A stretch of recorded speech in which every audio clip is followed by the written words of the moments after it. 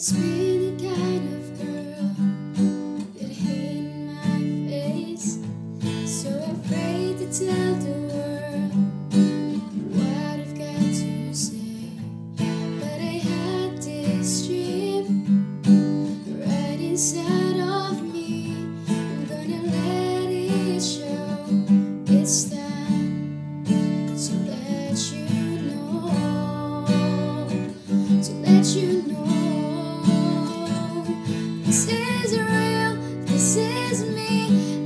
inside.